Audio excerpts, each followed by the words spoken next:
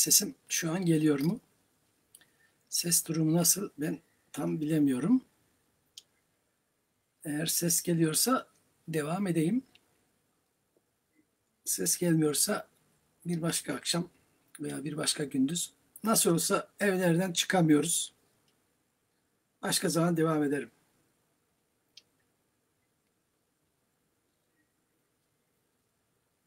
Eğer ses gel gelmiyorsa lütfen yazın. Ben buna göre e, başka zaman teknik sorunu çözünce devam ederim. Ama bir taraftan da şimdi başka e, Facebook'ta başka bir bilgisayar kullanıyorum. Kullandığım bilgisayarsa bütün odayı gösteriyor bulunduğu konumdan dolayı. Bütün ofisi gösteriyor. Ee, kötü olan şu, gençlere kötü örnek olacağım türden bir ofis var. Siz geriye hiç bakmayın, hiç aldırış etmeyin. Ee, bu birazcık suikast oldu. Ee, bu bilgisayarı kullanmak zorunda kaldım. Dolayısıyla e, ofisin durumu kötü.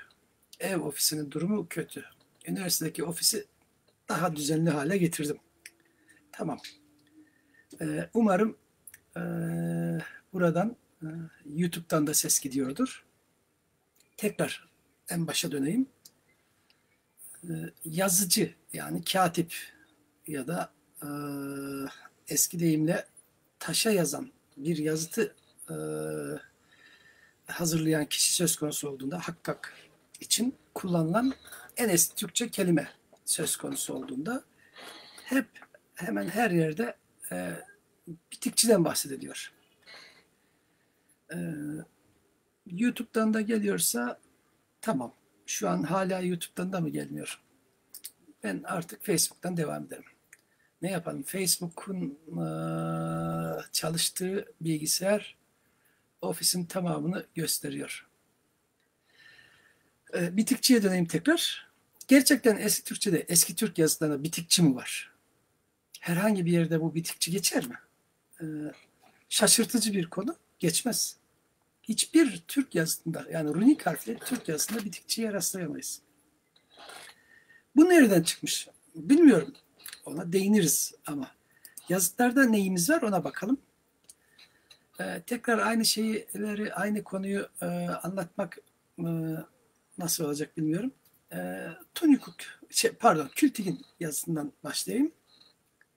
Kültigin'in sonunda e, yazıtı hazırlayan kişi, yani yazıtı taşlara geçiren, aktaran, hak eden, kazıyan kişi yeğenleri her ikisinin Kültigin ve Büyük Kağan'ın yeğeni Yolluk Tegin. Yolluk Tegin'in sözleri nasıl? Yazıtları okuyan herkes biliyor. Yolluk Tegin zaten çok şöhretli birisidir. Ee, yaptığı işten dolayı demek ki iyi bir katipmiş. Yazısı çok iyiymiş. Ee, YouTube'dan ses belki çok kötüymüş ama ne yapalım artık Facebook'tan izlenebilir. Oradan izleniyor. Birisiyle idare edelim. Bonça bitik, bitikme men Kültigin atısı yolluk tegin. Bitidim. Bunca yazıyı yazan Kültigin'in yeğeni ben yolluk tegin yazdım. Bu taşka tamka kop yolluk tegin bitidim. Bu taşlara, bu duvarlara tamamını yolluk tegin ben yazdım. Bitikme nedir? Bitikme e, biraz önce söylemiştim ses iyi gitmemiş. Ee, bir işle uğraşan, bir işi yapan e, deneceği zaman meslek adı yapan ek Türkçe'de isme geliyorsa cıcı bizim Türkçemizde fiile geliyorsa ıcı icidir. Bu çok iyi bilinir. Tabi ıcı icinin biraz daha ayrıntıya girelim o zaman e, yeni başlayanlar için bu. Yıcı yıcı şekilleri de var. Yani toplamak olsa toplayıcı, derlemek olsa derleyici. Ama kapı gibi ı ile biten bir isim olsa kapıcı. Araba olsa arabacı. Yol olsa yolcu. Demek ki cıcı'de herhangi bir ara ünlü, bağlama ünlüsü, bağlama ünlüsü hiçbir şeye ihtiyaç yok. İhtiyaç olan ıcı içide. Ee, mesela koşmaktan olsa sonu e, ünsüzle biten bir fiil koşucu, koşucu. Ama derlemek olunca derleyici. e, Türkçenin standart eki ıcı icidir. Fiile gelen. Biz şimdi yazıcıdan bahsedeceğiz, katipten bahsedeceğiz. O zaman yazmak fiiline gelen eki anlatmak durumdayız. Yazmak fiiline gelen ek? Ona bakacağız ki burada bitigme var. Bitikmede igme. Ben aslında değineceğim kelimeleri e, biraz daha bu teknoloji öğreneceğim. Galiba burada ekran paylaşımı bu bilgisayar biraz önce gösterdi. Ekran paylaşımını herhalde başarırım. Ama şu an yazmak durumdayım. Bitigme. Ee, evet. Fiili, fiili de herkes iyi bilir. Türkçe sever, Türkçe ile ilgilenen herkes fiili çok iyi bilir. Biti. Fiil bitidir. Bitmek, yazmak. Buradaki igme ne? Bunun üzerinde birazcık durabilirim. İgme e, biraz önceki teknik aksaklıktan önce değinmiştim. Sıfat fiil eki. Partisipium eki. Partisip eki. E, tabii ki e, ismi fail eki, eyleyici e, eki veya kılıcı eki veya nomen actoris eki dışında sıfat fiil ekiyle de e, bir işle uğraşan e, anlamda sözcük türetilebiliyor Türkçe'de. Gelen giden. Geleni gideni çoktur. Gelicisi gidicisi desek daha farklı olacak tabii. Ee, koşan inşa, insanlara bakıyorum. Buradaki anlam farklıdır. Şu an anlıktır biraz sıfat fiildeki. Koşan insanlara bakıyorum. Yazan insanlar yazan insanlar çok okur. Bunun gibi mesela okuyan. Okuyan insanlar. Ama okuyucu farklıdır. Okuyan insan ile okuyucu farklı. Koşan insan ile koşucu farklı. Değil mi? Ama yazıtlarda hiçbir zaman runik harfli yazıtlarda bir kez bile nomen actoris ekiyle yani ismi fail ekiyle eyleyici adı yapan ekle karşımıza yazıcı anlamda bir kelime çıkmaz. İşte burada. Bonça bitik, bitikme, men kültigin atısı, yolluk digin. Bunca yazıyı bu kadar yazıyı, yazılmış olan şeyi yazan kişi ben yolluk digin e, Kültigin'in yeğeni Ben Yolluk Tigin. E, başka nerede varmış burada yazılarımızda? Hmm. Bonça bitik bitikme, Kültigin atısı Yolluk Tigin. E, Tariyat yazısında da varmış. Yani Uygurlardan kalma yazıt olan Tariyat'ta bu Moğolistan'ın e, biraz daha batısında yani e, bizim yazıtların biraz daha batı kuzey batısında bir yerde e, baş tarafı bayağı hasarlı ama bitigme şeklinde. Bitigme. E, yani Uygur yazıtlarında da başka bir şey yok. İki kez geçer. Hmm, Kültiginde bo bitig bitikme atısı yolluk tegin. E, bu tam güney yüzünün sonunda. Ötekisi ise e, Güney ile Doğu'nun birleştiği yerde Cuma günkü dersimde ya da Cumartesi dünkü konuşmamda değinmiştim. Orada. Evet, e, dün değinmiştim. Evet, orada geçer. Bitikme. Bitikme bu kadar. Bütün hikayesi bitikmenin varı yoğu budur. E, başka herhangi bir yerde bitmekten çıkan ismi fail varsa yazıcı benim gözümden kaçmış olabilir. E, sevinirim runik harfli bir yazıtta varsa veya bunun öncesinde. Yazıtlarla ilgili söyleyebileceğim bu kadar. Şimdi Uygurca'ya geçelim. Uygurca birçok açıdan yazıtların ka- kardeşi ve devamıdır ama zenginleştiricisidir. Yazıtlardaki hemen hemen her şey Uygurca'da vardır ama her şey yoktur. Ee, e, ama Uygurca'nın çok geniş bir söz hazinesi var. Alıntı kelimelerle birlikte bilinen Uygurca'nın söz varlığı 20 bin iken Moğolistan'daki Türk yazıtlarının söz varlığı bin'dir. Sadece bir ve yanında 3 sıfır. Uygurcanın ise 20 e, ve yanında 3 sıfır. Uygurca daha farklı. Ama yazıtlardaki her şey Uygurca'da yok. Bitigme yok. Peki Uygurca'da ne var? Buna bakalım. Buradan e, yazıtlara geçelim. Yazıt, e, Uygurca'ya geçtiğimizde iki ayrı kelimeyle karşılaşırız. E, iki ayrı kelime var yazıtlarda. Yine bu bitmekle alakalı. Birisi bitmekle alakalı, ötekisi ise sanki bitmekle alakalı gibi insanı tam yanıltacak bir kelimedir. Önce doğrudan bitmekle alakalı olana değineyim. Bu arada e, kaynaklarıma da yer vermiş olayım. Yazıtları biliyorsunuz kaynağımız çok. Ama e, şimdi yer vereceğim kaynak için e, biti güçü adı vardır. Yazıtlarda tam Türkçenin bütün kurallarına uygun kelime biti güçü. Yani bitmek ve güçü. Bu arada bu eki yazayım. Ee, böyle e, yazıyı çok iyi gösterecek bir kalem şu anda burada yok. Şöyle bir kalem. Bakalım. Biraz önce eke değinmiştim.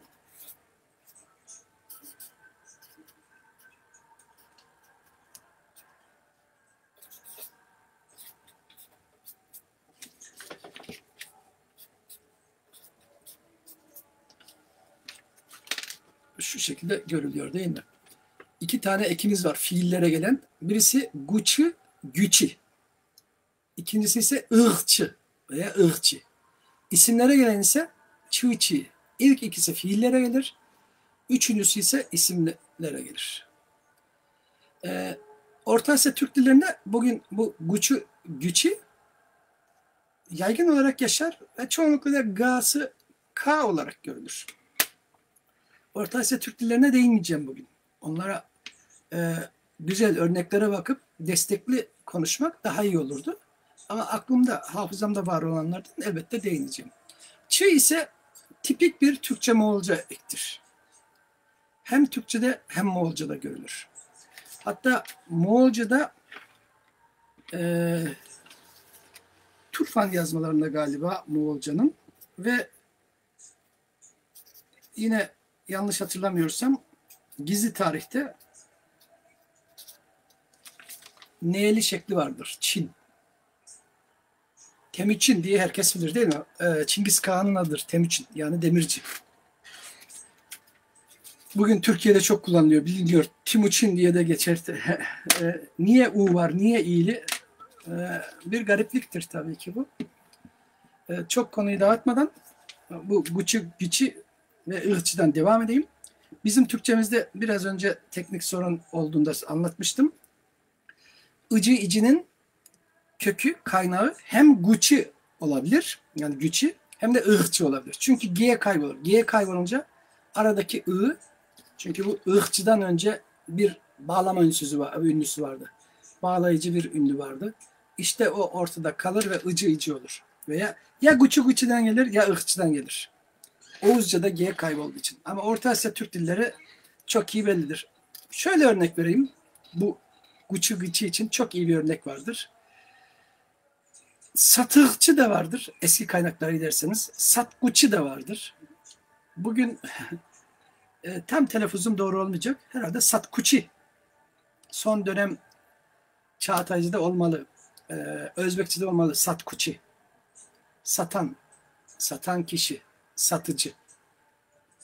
Bizim Türkçemizde satıcı. Çünkü satmak fiilinden e, guçı veya ırçı ile türemiş. İkisi de olur bizim Türkçemiz için. G kaybolunca satıcı olmuş. Kendi konumuzdan yazıcıdan ayrılmayalım. Biti güçten bahsetmiştim. Biti güçü çok karşılaşılan bir kelime değil. Onu da söyleyeyim. Biti güçü eski Uygurca'da o kadar sık görülmez. Uygurca için e, öğrencilerime az kullandırttım ama kullanılması gerektiğini ama dikkatle kullanılması gerektiğini belirtirim. Ama kaynak olarak çok dikkatli olması gerekir bir öğrencinin. Ee, Ahmet Caferoğlu'nun kaynağıdır. Ee, bir araştırmacı dikkatle kullanabilir ama öğrencilerin dikkat etmesi gerekir. Bunun yerine öğrencilerin e, kılavuzunu daha sık kullanılması iyi olur. Ama Caferoğlu'nun sözlüğü kaynak olarak aslında çok iyidir. Araştırmacı için söylememin sebebi buradaki o döneme dayanan hataların, eksikliklerin araştırmacı tarafından yakalanacağını bildiğim için. Ee, burada bize gerekli kelimeler çok güzel gösterilmiştir Caferoğlu'nda. Ne var? Burada bakalım. Bizim aradığımız kelime var mı? Yok. Biti gücü yokmuş. Çünkü biti gücü dedim ya az rastlanan bir kelime. Ee, eski ama az rastlanan bir kelime. 11. yüzyılın ilk yarısından kalma bir yazmada geçer. Ol ok biti gücü favşika okuttu. Ol ok yani o zaman biti gücü favşika yazıcı ustaya, yazıcı ustada okuttu. Ol ok biti gücü favşika okuttu. Bu bir. Bunun gibi başka ne varmış? Başka biti gücü var mıymış? Bir tane daha varmış. Evet bir tane daha. Çok değil ama. Biti gücünün olduğu örnek çok değil. Ha, diğer kaynağım var. Tabi eski Uygurca denince kaynak biti gücü bulacağımız bir kaynak başka kaynak var. Elbette. Bir tane değil. Ee, baktım nerelerde yer verilmiş diye kelimeye önceden onun için bunları koydum. Caferoğlu ile ilgili başka e, Caferoğlu'nun başka katkısı var. O sebeple Caferoğlu'nun sözünü getirdim. Bugünkü konumuzla ilgili. E, Biti Güç'i ilk defa 1941'de ilk yayınlanan e, Gabe'nin ilk baskısı 1941 olan Alt Türkçe Gramatik yani Es Türkçe'nin grameri sözlüğünde yer alır. Şöyle yakın göstereyim. Biti gücü en altta görüyorsunuz. Schreiber. En altta bir Schreiber ve yanında da yazıcı yer almakta. Eğer ses geliyorsa YouTube'dan da böyle görülebilir. En altta biti gücü sağ alt köşede Schreiber ve yazıcı. Yani buradaki Türkçe gramatiğin sonundaki sözlük çok kullanışlı. 1941'de nereden bu sözlüğün sonunda Türkçe yer almış derseniz girişte okuyacaksınız ön sözde. O dönem Ahmet Temir e, Berlin'deydi, Almanya'daydı. Orada öğrenim görüyordu. Ahmet Temir hazırlamış. Rahmetli Ahmet Temir onun sözlüğünü hazırlamış. Söyleyeceğim demek ki daha o zaman Gabe'nin gramerinde, gramerin glossa sözlük bölümünde biti gücü yer almakta. Yani yazan ama yazan diye verilmiş. Yazıcı katipte yer verilebilirdi. Tabii ki Ahmet Bey'in o dönem Türkçesi, Türkiye Türkçesi e, daha yeni sayılır. E, çok e, kullanılmış değildi. Almanya'daydı. Türkiye'ye gelince daha ilerlemiş olmalı Türkçesi. Çünkü Türkiye gelmiş, Türkiye'den Almanya'ya, Berlin'e gitmiş. O halde ikinci kelime bu. İki kelime gitti. Şöyle tutayım. Bitigme, bitigüçi. Bu iki kelimeyi konuştuk. Eski Uygurcadan. Üçüncü bir kelime var mı? Var. Eski Uygurca'da üçüncü bir kelime var. Bitkeçi veya betkeçi, pitkeçi, petkeçi. Eski Uygurca'da her şey okunabilir. Ee, B harfiyle yazıldıysa B ile P arasında hiçbir fark yoktur. Tamamen aynıdır. Ee, ama yaygın anlayış B ile okuyuştur. Bitkeçi diye okunur bit keçi. Siz bunu B de okuyabilirsiniz. P de okuyabilirsiniz. P de okuyabilirsiniz. İlk heceyi daha doğrusu ilk iki sesi şöyle göstereyim. Bit keçi, bet keçi, pit keçi, pet keçi. Dörde mümkün. Kuramsal olarak dörde mümkündür. Bit keçi diye bir kelimeyle karşılaşırız ve bu daha yaygındır Uygurca'da. Ne bileyim Budist bir eserde de birkaç tane Budist eserde rastlamışım. Bundan başka Ezop hikayeleri kitabında rastla, Ezop hikayelerinde rastlamışım. Başka nerede varmış rastladığım? Ee, Shinko Shelley ile ilgili bir notta rastlamışım. Bir kolofonda rastlamışım. Ee, kişi adları ile ilgili bir çalışmada rastlamışım. Kışantik ulguluk non-bitikte rastlamışım. Çünkü böyle bir not var elimde. Faal inşriftin yani kazık yazıtı. Şöyle uzun bir kazık düşünün. Sekizgen ya da ongen diyelim.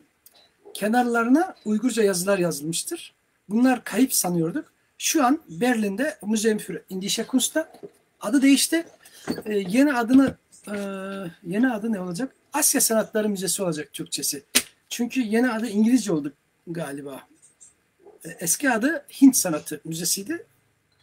Hmm, şu kadarını söyleyeyim. Berlin'e hayatımda ilk gittiğim gün ilk gittiğim müzedir. Sabah gelip akşam kapanana kadar kaldığım müzedir. 1989'da ilk kez gittiğimde Berlin'e sabah girdim müze kapanana kadar kaldım. O müzedir. O müzede eski Uygurca yazmalar var. Eski Uygurca duvar resimleri var. Mesela e, şu anki konuşmamı tanıtmak için bir resim koydum Facebook'a. O resim işte o müzededir.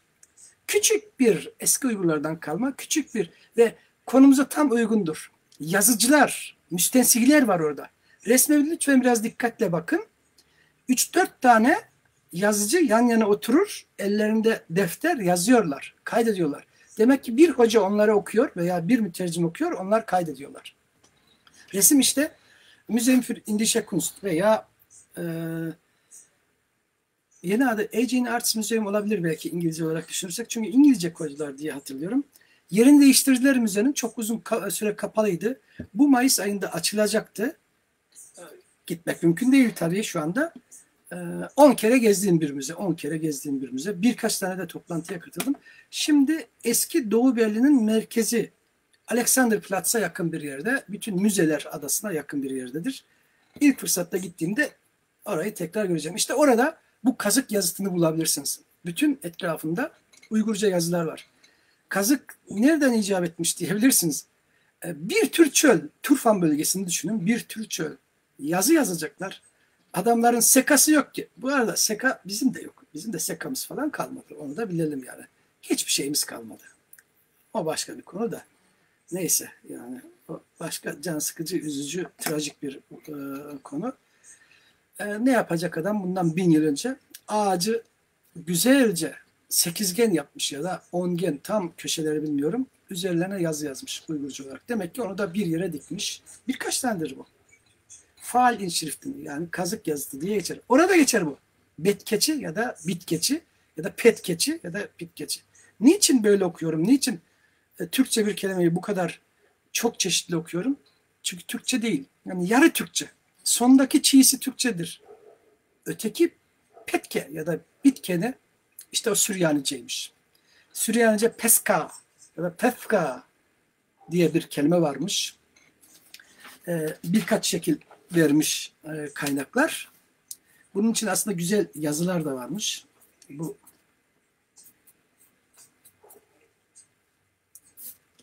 şu şekilde e, ben K altı nokta yazdım ama Süryanice transkripsiyon yapanlar Q ile yazıyorlar. Böyleymiş. Ee, bu kelimeye yazı, yazı ile ilgiliymiş bu kelime. Ee, buna Türkçe çiğ gelmiş. Anne-Marie von Gaben yani biraz önceki gramerine yer verdiğim hocamız e, ben öyle not almışım. E, Fundamenta'nın ikinci cildinde buna yer vermiş. Fundamenta'nın ikinci cildinde Alttürkçe Schreibkultur und Druckerei yani eski Türk yazı kültürü ve matbaacılığı diye bir yazısı varmış. Evet, eski Türk yazı kültürü ve matbaacılığı demek ki bir şeyler varmış bir tür matbaacılık. Bugünkü anladığınız e, çağdaş anlamda matbaacılık değil. Bunları ben Dunhuan'da, Dunhuan'daki müzede de gördüm. E, Osmanlıca bir terimle muharrik yani yerinden oynatılabilen, değiştirilebilen kalıplar vardır. Küçük küçük heceler ya da kısa kelimeler. Bir gibi, tengri gibi e, çok sık kullanılan kelimeleri kalıp olarak görebilirsiniz. Bu konuda da bir kitap hazırlandı. E, şu an e, Pekin'de olabilir. Yasin Aşuri Bey. Hmm, onun bir kitabı var. Bu muharrik harflerle ilgili tanıtıcı, ayrıntılı güzel bir kitabı var.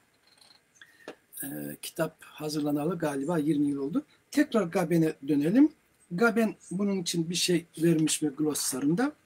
E, vermiş. Bitkeçi demiş. Petka Urkunde. Belge, vesika. Demek ki e, buradan şöyle tutuyorum. Petka e, fazla yaklaşınca netlik ayarı bozuluyor. Bitkeçi kelimesinin altında Süryanice petka, belge, vesika, urkunde yani. Ve ona gelen Türkçe çi diyor. Burada. Ee, umarım görülüyordur. Demek ki bu varmış. Yaygın olan buymuş. Eski Uygurca'da yaygın olan buymuş ve bütününü Schreiber yani yazıcı olarak tercüme etmişler. Ee, bundan başka ne varmış? Andras Bodrog hocamız yakın zamanda vefat etti. Ee, ben de hoca için e, editör değil de yayıncı olarak e, yer aldım. Ee, Kurtuluş Öztopçu hocamız çok güzel bir armağan hazırladı. Rahmetli hoca için. Hocayı çok severdi Kurtuluş Öztopçu hocamız. E, güzel bir armağan oldu. Güzelle kastettiğim içinde önemli yazılar var. Benim yayınladığım, şu an benim yayınladığım, geçmişte hocamın başlattığı Türk Dilleri Araştırmalarının 17. cildinde. Yani aklıma o 17 şu an gelmedi. Şu an elimde 18 var. Hocama hazırladığım armağandır bu. Burada başka bir konu var değineceğimiz. Onun için bunu getirdim.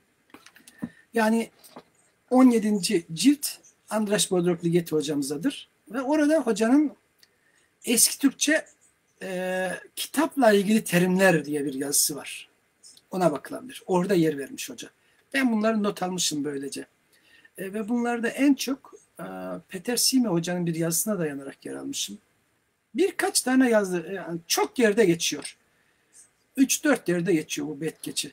Bir tanesini okuyalım petkeçiyle. Ee, her tarafı tabii Çince kelimeler yer vereceğim anlatın ama Han Güyen adlı betkeçi, bitkeçi Çenşo bitimekte uzanmakı kükülti. Bitimekte uzanmakı kükülti, yazmakta şö, ustalığı şöhret aldı. Şöhrete kavuştu. Bitimekte yani yazmakta. Uzanmak ustalık demek. Ustalığı kükülti. Kükülmekte şöhret olmak. Kim? Han Güyen atlık bitkeçi. Han Güyen atlık e, katibin e, Çenşo adlı e, konuda yazması, maharet kazanması meşhur oldu. Burada var. E, bunun gibi daha epey örnek varmış. Şimdi ikinci kelimemiz buydu. Bitikme, bitigüçü, bitkeçi. Üç pardon. O halde İslam öncesi Türkçe'de üç kelimeymiş. Benim bulduğum katip, yazıcı anlamındaki hem katip hem yazıcı e, hem de müstensih yani istinsah yapanlar da bu isimle anılıyor. Gariptir. O kadar çok sık geçmiyor. O zengin Uygur edebiyatında bunları o kadar da sık görmeyiz ama en sık gördüğümüz dediğim gibi bitkeçi. Bitkeçiye bakalım başka örneklerimiz varsa madem ee, ah, buldum bir tane daha. İş başçı beglerke tallap uz bitkeçilerik öz elin elgin bitedi. Uz bitkeçilerik öz elgin bitedi. Usta katipleri kendi eliyle yazdı. Onun, o kişinin usta katipleri usta katipleri öz e, kendi eliyle yazdı. Uz bitkeçiler. Demek ki uz bitkeçiler hemen bir sıfatla da kullanılıyor. Ee, usta katipler veya ne varmış? İki siyög bitkeçiler uluğu on koldunkı puşya balıktakı öge şu kişi e, bitit. Burada bizi ilgilendiren çünkü çok Çince kelime geçiyordu. E, baş taraf dönem. İki siyög bitkeçiler uluğu. Siyög demek ön sözü. Siyö ön söz demek. Bugünkü Çince'de şue diye olacak. Telaffuzum için özür dilerim. Şimdi oturup imtihan yapıyorlar bazıları da beni Çincem konusunda. Elbette. Nerede Çincem öyle? Bunun usta üstadı olanlar yanında bir şey değildir tabii ki. İhtiyacı olan kadar öğrenir insan belli bir şeyi. E, vakti olduğu kadar daha doğrusu. İki siyök, iki ön sözü, bitkeçiler ulgu, katiplerin başı, e, filan filan Süynlu adlı Bekke bütüttürdü. Siyonlu isimli beye yazdırdı. Bu böyle e, bitkeçi devam eder. Bitkeçi bu kadar bırakalım. E, peki bitikçi nereden çıkıyor? Heh, işte şimdi ona değineceğiz. E, bu arada Caferoğlu hocamız bir şey demiş mi? Caferoğlu hocamız bitkeçi için yer vermiş. Biti geçi demiş. Katip yazıcı demiş. Maniheyka 3'ten örnek vermiş hoca. Ee, Caferoğlu Hoca da Maniheyka 3'ten var. Şöyle koyayım. Ekrana ne kadar görülüyor bilmiyorum. Belki bulanık oluyor. Biti geçi diye yazmış galiba hoca bu şekilde. Ee, bu arada bitimeye de e, bitimenin Çince'den gelip gelmediği söylendi. Elbette. E, bitimek değil de bitimenin kökü Çince'den gelir. Çince'de fırça ve kalem anlamında bugünkü Çince'de pi ya da bi. Ama eski Çince e, Tang dönemi Çincesinde pit. Bu çok iyi biliniyor. Tang dönemi Çincesi bu kelime T ile Trabzon'un T'si ile biter ve pit şeklindedir. E, Türklerin elinde kağıt yok ki Moğolistan'da kağıda yazsınlar. E, Çincesinin fırçayla ilgili olmasının sebebi bildiğiniz gibi Çince klasik anlamda Çince fırçayla yazılır. Türkler fırça tekniğini kullanmış mı bunu bilmiyorum. Kullandıkları belki vardır. Yani Uygurlar belki kullandı. Ama iyi bildiğimiz bir şey var. Ee, kağıda yazmaya başlayınca Türkler ağırlıklı olarak başlangıçta kamış sonraları divit tabii ki ama başlangıçta kamış. Ee, eski Uygurca fırça yazısı değildir. Bir de bunu belirteyim. Çince fırça yazısıdır. Ee, fırçayla yazdıkları için fırça. Bizimkisi e, fırçaya gelen bir ek. I, i eki var. Az da olsa I, i. I, i, u, ü, a, e Türkçede isimden fiil yapan ektir. Yaygın olan a, e'dir. U, ü de yaygındır. Mesela bir örnek verecek olursam Çince'den Türkçe'ye geçen Türkçe diyorum genel Türkçe'ye ve eski Gürcü'ye geçen çın yani e, cin kelimesi gerçek hakikat demektir. Çınumak fiili çıkar buradan. Çınumak, hakiki olmak, haki, hakikat olmak, gerçek olmak. Demek ki isimden fiil yapan AE'nin, kan kanamaktaki AE'nin e, diğer kardeşleri U, U'yu ve I, İ'ymiş. Hmm, pit kelimesinden pitimek olduğu söylenir. Bu pitin eski Çince rekonstrüksiyonunu diye yapanlar da vardır. Bunların başında Karlgren gelir. Eski Çince'nin üstadlarından. Ama son 30 yıldır yapılan rekonstrüksiyonlarda yani eski Çince'nin yeniden kuruluşunda bize özellikle gerekli olan e, ilk dönem eski Çince ve son dönem early late ve orta dönem eski Çince'dir. Onlarda e, bunu Pulebilenk yaptı ama daha e, son zamanlarda Baxter ve Sagart onlarınkine de baktım pit şeklindedir. Fırça kelimesi pit yani sonunda T ile. Ve buna gelecek bir i olacak. Ve bu i'ye de pitimek, bitimek. Elbette Türkçe'de başta p olmadığı için doğal olarak eski Türkler bitmek kullanmışlar. Bitimek şu an kullanılan Türk kavmi var mı bilmiyorum bitimeki. Ama bitimek Moğolca'ya gitmiştir. Moğolca'da biçimek şeklini almıştır. Klasik Moğolca'da. Ve Moğolca'dan tekrar e, şu an hafızamda değil Sarı Uygurcu'ya bakmadan konuşmam ayıp olacaktır. Şu an hafızamda yok Sarı Uygurca şekli. Yazmanın Sarı Uygurca karşılığı yok. E, fiilden bahsediyorum şu an. İsme geçmedim. E, fiil, eylem olarak Moğolca'da devam eder. Biçi. Biçimek şeklini alır. Bugünkü şekli farklıdır. E, biçimek çok iyi bilinir. Günümüz Türk dillerinde de kullanılır. Sibirya bölgesi Türk dillerinde. Şu açıda çok iyi, çok sık diye yani aslında e, fiil biji şeklindedir. Bijir. Bijir. E, infinitif şekli ir olduğu için burada bijir. Buradan Mançucu'ya da geçmiş. Bitimek. Buradan bitig çıkmış. Bitik ama yaygın. Kitap kelimesi e, eski Türkçeden sonra İslami dönem Türk dillerinde kullanılmış bütün yazmalarda var. Eski Osmanlıca'ya kadar gelmiş. Günümüzde Uygurcanın ağızlarında ve kendisinde de var. Ee, ben pütük diye duymuştum. Tam doğru telaffuz edemiyor olabilirim. Ama pütük diye duydum. Pütük. P'nin etkisiyle i, ü olmalı. Normalde bitik olmalı. Niye BP olmuş onu da eylemem. Ama bunu bizim Türkçemizden de e, örneklerle karşılaştırabiliriz. E, bu arada söyleyeyim bu bir sohbet konuşması gibi oluyor. Hiçbir şey metin yok. Hazırlamadım. Bir kitap da yok. E, bitikme harici, bitigiçi harici kitap yok yanımda. Onlara yer verecek olduğum için. E, parmak, parmak veya pişmek, pişmek gibi düşünün. Pusu kelimesi gibi düşünün. Pusu kelimesi aslında pire gibi düşünün. Bunların eski şekli B ileydi. O halde bitik kelimesi de çağdaş Uygurca pütik olabilir. Ee, eski Uygurca ile işimizi tamamlayalım. O halde eski Uygurca'da üç tane kelimeye değindim. Ee, bitik mi, bitik içi, bitkeçi. Eski Uygurca'da üç kelime. Ee, bu arada elimdeki bütün daha önce yazdığım bunun için bir şeyler de yazmıştım. Hepsini burada anlatamıyorum. Hmm, ayrıntılar var. Ee, şu an hızla geçmiş oluyoruz bazı şeyleri. Gaben Hoca'nın sözünü kapatalım. Eski Ilıca'dan İslami döneme geçelim. İslami dönem Türkçe'de, Orta Asya Türkçesinde ne var? İlk bakacağımız eser hepinizin bildiği, hep birazdan söyleyebiliriz. Divan-ı Lügat-ı Türk'tür. Divan-ı Lügat-ı Türk'te biti güçü yok. Bitik ne yok? Bit geçi yok. O zaman Divan-ı Lügat-ı Türk'te ne var? Bilmiyorum. O zaman divanda yoksa neye bakacağız?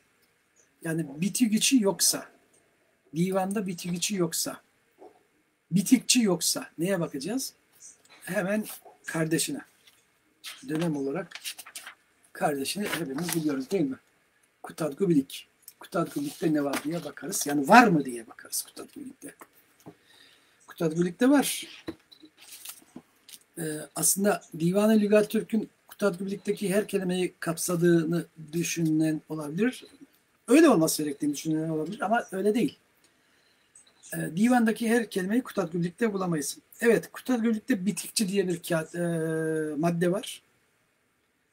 Karşılığı katip olarak verilmiş ve birçok kez geçmiş. Bir defa değil. Örneklere bakabiliriz. 2494 bir tane bakalım nasılmış. Cümle, cümle içinde diyecektim çünkü e, mensur çalışmayla uğraşan birisi olduğum için Mısra beyit içerisinde kullanılışına bakarız. Kutat Güblik söz konusuysa 2494 Ağıçı, bitikçi, ya iş tutkuçu, ya tonçu, etükçü, amil bolguçu. Ağıçı, hazineder, hazineci, bitikçi, katip, ya iş tutkuçu, iş yapan, 26-74 iş sahibi, e, iş erbabı, 26-75'te varmış. Yani çok örneği çok. 26-75. Bitikçiye, bitikçike aygu kerek iş sözün, iç sözün. Küdesse bitikçi, üküş ya azın. Bitikçike aygu kerek iç sözün. Katibe, yazıcıya söylemek gerekir içindeki sözü. Küdesse, dikkat ederse, korursa, muhafaza ederse yazıcı, e, tutarsa çoğunu ya da azını, üküş ya azın. Yani bunlara şimdi baktım mı hiç bakmamıştım. Toplasaydım iyi olurdu. Böyle bakabilirdik.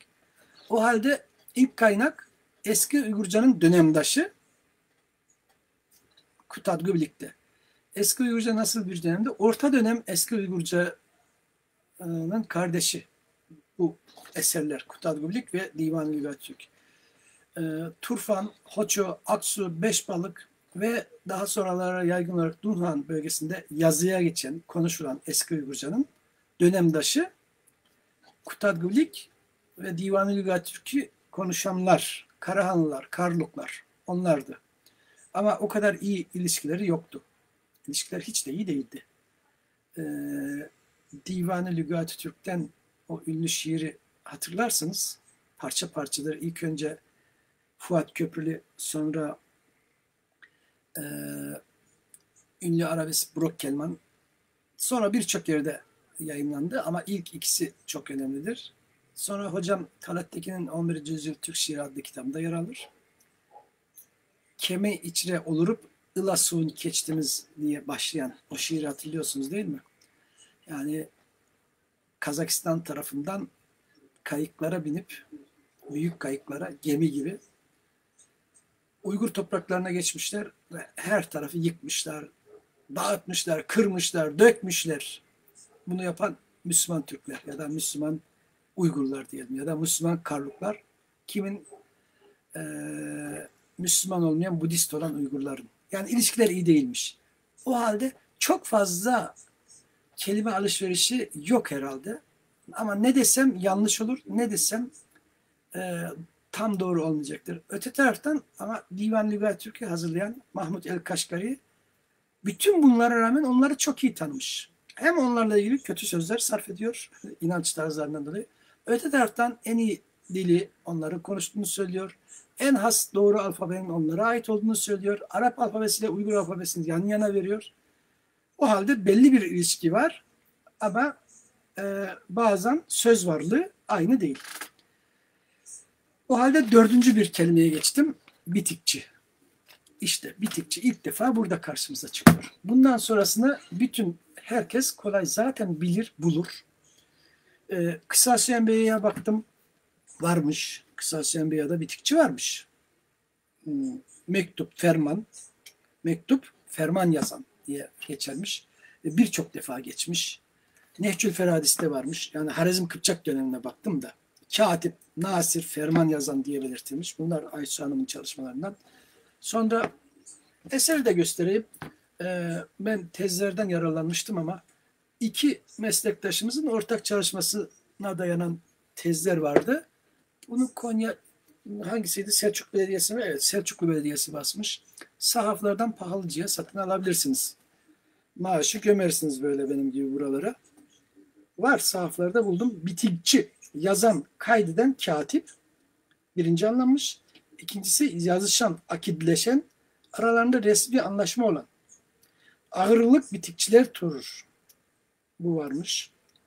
Başka Olkün türermiz kökni anda kalı bitikçi bitigin türer tek.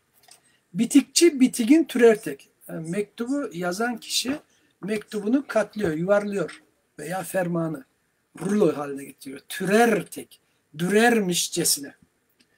Ee, bu Karahanlı dönemine ait e, Kur'an tercümesinin sözlüğü.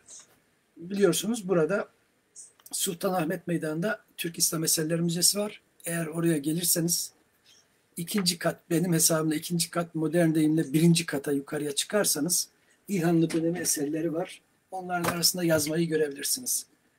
Başka var mı? Çok. Siz bakacaksınız artık. Ona ben bakmayayım. Amacım İslami dönem evveli bitikçinin olmadığını söylemekti. Ee, daha da varmış. Ee, Harezm dönemi satır arası Kur'an tercümesinde Gülden Hanım'ın çalışmasında burada da. Bitikçi yazan, kayden katip olarak burada da varmış. Ee, kaç defa geçmiş? Hmm, en az iki kez var. İki kez geçmiş. Ee, yani sonsuz demeyeyim ama çok olarak var. Çok olarak var. Ee, Türkçe çevirisi ofiste olmalı bulamadım ama Leksika Srednazyatskova Tefsira Brokov'un hazırladığı tefsir sözünde Orta, Asya, Orta Asya tefsirinin söz varlığı adlı çalışmada bitilçi, onlar G ile okumuş, piset olarak vermiş. Orada da varmış. Yani baksanız daha çok göreceksiniz. Tarihi dönem metinlerde çok görürsünüz. Kimi çalışmada bitikçi diye gördüm. Çağatayca kastedilerek bitikçi K ile yazmış. Bu da olabilir. Bu normal. Birincisi Çağataycı'da zaten ikinci hecenin sonunda esas olarak G, K'ler ötümsüzleşiyor. Her kelimede olmayabilir ama. Böyle şeylerde durumlarda var. Yüzde yüz değil. Yani sıra dışı, kural dışı e, kelimeler de var. E, bitikten bahsederken aklıma geldi söyleyecektim. Bugün bilgisayar dilinde betik diye kullanılıyor işte betik. Nereden çıkmış o betik bilmiyorum. Ee, eskilerden dil kurumundan çıkan bir kitap ya da makaleydi. 14. asır Türk beti, Türk betikleri mi Türk betileri diye olacaktı. Lütfen bunun için tanıma sözlüğüne de bakın neler varmış ee, bitimekle ilgili. Ee, yani yanıma getirmedim bakmadım. Ee, konuşmam bitmedi. Konu daha bitmedi çünkü konuyu kapatmadık bu bitikçi runik harfli yazıtlar için nereden çıktı ona geleceğim daha gelmedim. Sadece runik harfli yazıtlarda olmadığını söyledim. Geleceğim nokta e, nereye gitmiş? Bir yerlere gitmiş evet. Igor hocamız tek değil tabii ama Igor Hoca diyeyim. Igor Hoca öncülerden bu Yenisey yazıtlarında Uybat yazıtında, üçüncü Uybat yazıtında bir bitikçiden sözler ama hasar görmüş bir taş. Yani bir tamamlama. Ne zaman ben bundan emin oldum? Bir süredir de bunlara bakıyorum. Bir şey elinize tekrar aldınız da kim ne yapmış diye. Yakın zamanda e, Hülya Hanım Eskişehir'den Hülya Köprülü e, şimdi soyadları hep karıştırıyorum biraz değiştiği için.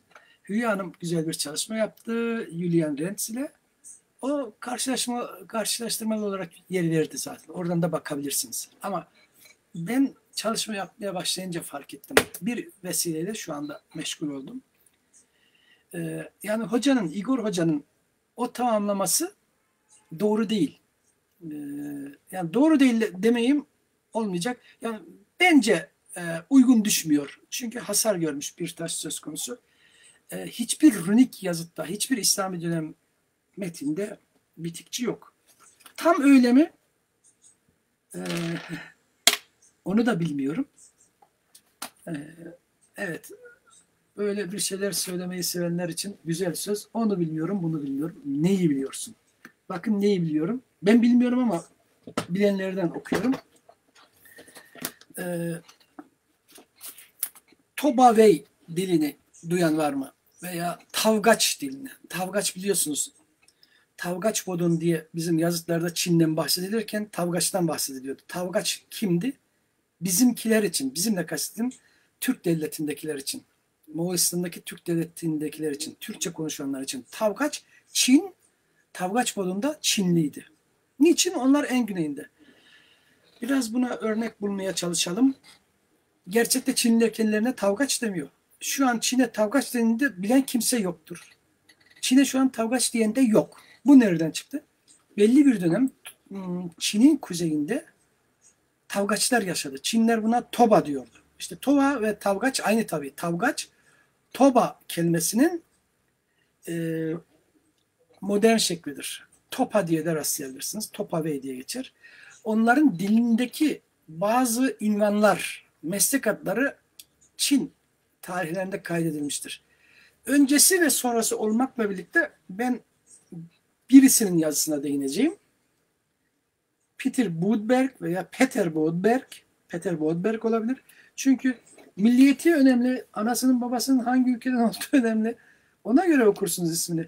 En çok e, canımı sıkan, canımı sıkanla kastettiğim Tom seni bilmememiz ayıp. Eğer Türkçe ile ilgileniyorsak, Türkçeyi seviyorsak. Ama adamın adını Thompson diye okumakta daha da ayıp. En azından adının nasıl okunacağını bilelim. Peter Bodberg bizimle ilgili çok fazla çalışma yapmadığı için ben de bilmiyorum. Birisi bakıp öğrenebilir milliyetini ve adının nasıl okunacağını. Onun bir yazısı vardı 60-70 yıl öncesine ait. Ben bunu bir öğrencimden rica ettim. Sonra oturdum ben de çalıştım. Sonra bir İngilizce meslektaşımdan da destek aldım. Türkçesini yayınladım. Ee, burada var. Merak eden buradan okur. Tobaların dilinden yani e, Tavgaçların dilinden neler kalmış ve bunlar nasıl yorumlanabilir? Buradan görebiliriz. Bunu internetten zaten bulabilirsiniz.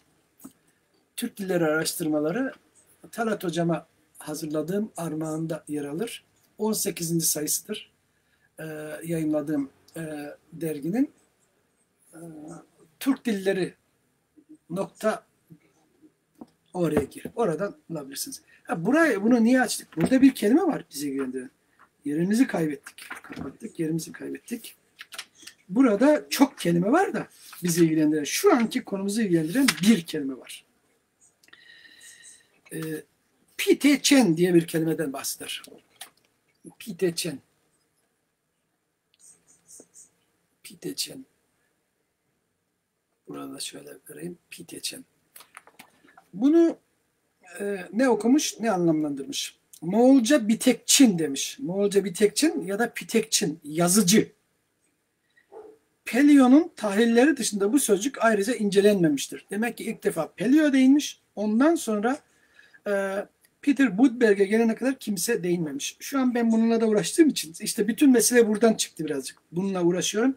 Nerede ne var bakıyorum. Halbuki Türkçe bitik yazı biçiminin kökenini Çince veya Hint Avrupa demiş soru işareti koymuş. Belirlemek için ayrı bir monografiye ihtiyaç vardır. Not düşmüş. Eğer Kırgızların reisinin bir iddiayı biriminin onurlu sahibi olduğu varsayılırsa diye not uzun sürüyor. Buradan bir şeyden alıyor. Bir, karmaşık bir şekilde Mitiçi Mitiçi Kırgız yöneticisinin çadırını ifade eden Bitikçinin de ayrı bir yazı çevrimi görülebilir. Kırgız'da kastedilen eski Yenisey Kırgızları. Birisi bunu kalkmış, Bitikçi bir araştırmacı. mescit kelimesiyle birleştirmiş. Bununla hiç karşılaştırılamaz, tuhaf, gariptir diyor. Bu Toba ve e, dil hakkında yazı yazan Bodberg'in yazısından bu kadar yer vermiş. Daha fazla yer vermiş. Peki başka bir şey var mı? Var. Çok var tabii ama ben birkaçına değineceğim. Çünkü bu kelime çok bilinir. Ee, küçük bir kitapçık. Küçük de kastettim. inceliği açısından görün. Ama bizim için faydalı bilgiler içeriyor. Hocam Talat Tekin'in Hunların Dili. Bu da bir görüştür. Benim görüşlerim de farklı olabilir. Buradaki hocamın görüşlerinden bahsedeyim. Ama güzel düzeltileri vardır. Çünkü Türkçenin bütünle, Türkçe'de kastettiğim Türk dilleridir. Bütünle hakim, bakış açısı olan bir araştırmacıydı hocam. Bitikçin, yazıcı, Toba, Bitikçin, Estürkçe bitikçi, Budberg'e göre demiş. Estürkçe'de bitikçi yok. Tekrar söyleyeyim. Bu eşitleme, yukarıdaki eşitleme Pelion'undur. Eşitleme herhangi bir yoruma gereksinim göstermeyecek kadar açıktır. Bodberg'in topa sözcüğünü bitekçin ya da pitekçin biçimde kurması ve bunu Türkçe Moğolca ortak bir sözcük sayması doğru değildir. Bu sözcük bitikçin olmalıdır. Çünkü Türkçe bitik sözcüğünün ikinci hece ünlüsü i iledir. Yani bitek ya da pitek değil, bitik olmalı. Ayrıca sözcüğün Moğolca olmadığı ikinci hece başındaki ti ses öbeğinden bellidir. Ben burada hocama e, katılmıyorum.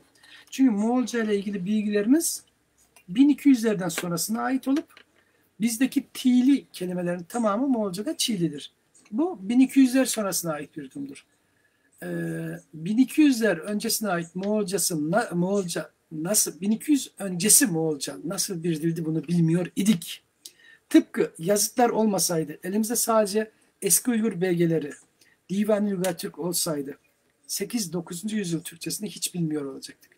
Yazıtlar bulundu, her şey değişti. Biz Moğollardan o konuda daha şanslıydık. Geleceğim nokta e, başta Dieter Mauya e, üstadımız olmak üzere hemen onun yanı başında arkadaşım Alexander Voin her ikisine e, müteşekkiriz. Biz Türkçe bir yazıtı ilk defa çözdükleri için. E, sonra hemen burada yine söyleyeyim. Bizim TİKA'mız bize maddi destek ve lojistik destek sağladı. Yine bizim Yunus Emre'miz e, Hayati hocamızın başkanlığı döneminde, Hayati devlet döneminde maddi destek sağladı. Türklerden kalan en eski ikinci yazıtı çözebildik. Bu Hüstolgoy yazıtıdır. E, masraflı bir işti ve meşakkatli bir işti. E, her iki kurumumuza da destek verenlere de teşe müteşekkiriz. Yani teşekkür ederiz, sağ olun deriz. Türkçe sözcükte kullanmalıyız burada. E, niçin bu kadar hikayeye girdim? 11 satırlıktır Hüstolgoy yazıtı ve o yazıtta durum değişik. Yani Çi olayı 7. yüzyılda, 6. yüzyılda yokmuş gibi görünüyor. Çünkü o yazıtla ilgili son söz henüz söylenmemiş durumda ama ilk söz söylenmiş durumda. İlk sözün çoğunluğu da doğru. Yazıtın transkripsiyonunu, transliterasyonunu Dieter Mauer hocamız yapmıştı. Ama okuma, tercüme, yorumlama e, o güne göre rekonstrüksiyon Alexander Wovin'e aittir. E, ve Moğolcadır, dil Moğolcadır. Yazanlar, dikenler Türklerdir. Ondan daha eski bir yazıda geçen yıl yayınlamış olduk. O da Bugut yazıtının e, zor okunan, çoğu tahrip olmuş olan dör, dördüncü yüzü veya ilk yüzü hiç bilmiyoruz. Brahmi harfli bölümüdür. Aslında orada daha uzunmuş. 24 satır falan vardı galiba oraya bakarsak. Orası da Moğolcadır. O da 582 yıllarına uzanır. Bu kadar söyleme sebebim yani Moğolca'da e, Türkçedeki ti'ler çi olur demek artık değişmek durumunda. Çünkü Moğolca için mesnet alacağımız bir yazıt var. Daha eski yani bizim yazıtlarımızdan daha eski olan Hüstolgoy ve Bugut yazıttır.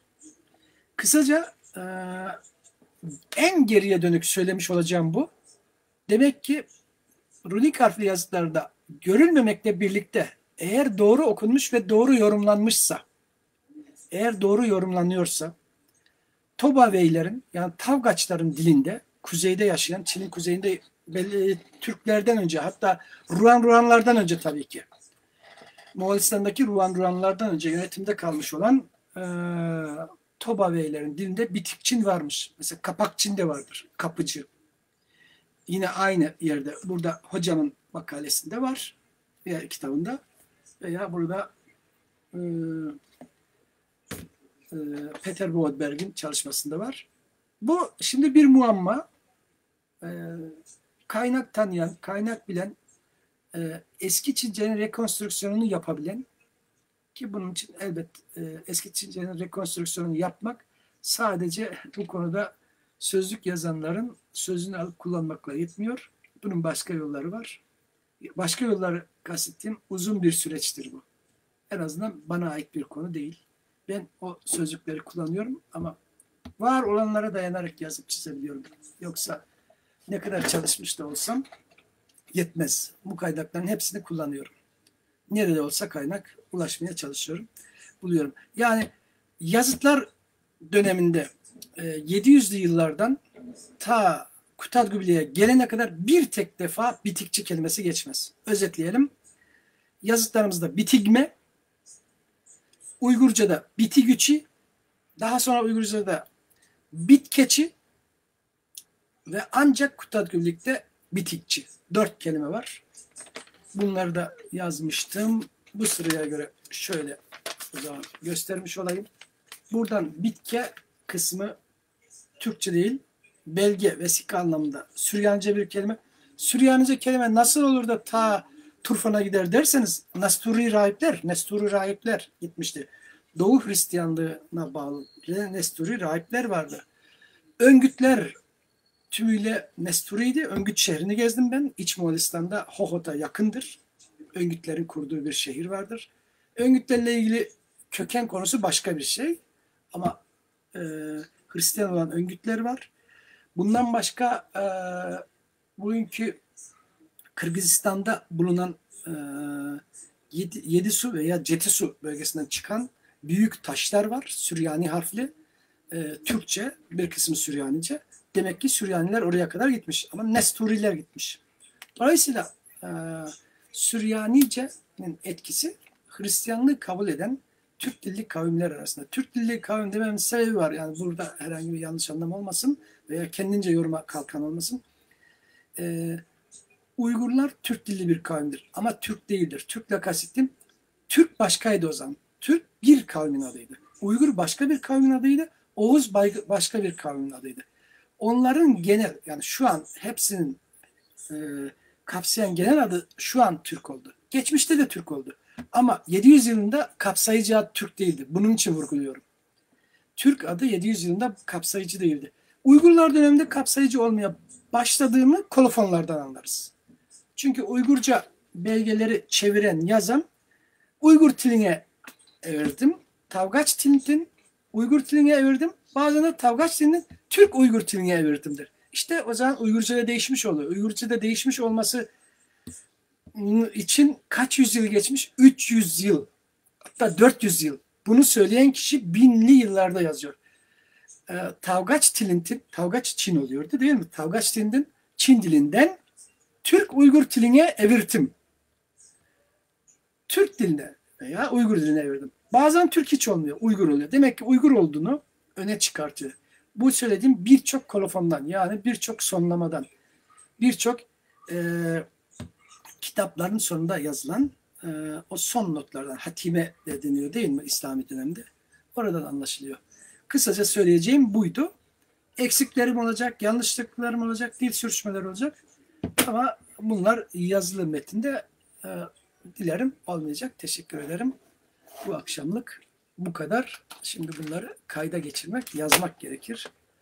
Ee, ilk fırsatta bir başka konuda yine konuşacağım ama her cuma saat 5'te Klasik Düşünce Okulu'nda Kültigin okumaya devam ediyorum. Eğer başka türlü vakit bulamazsam teşekkürler.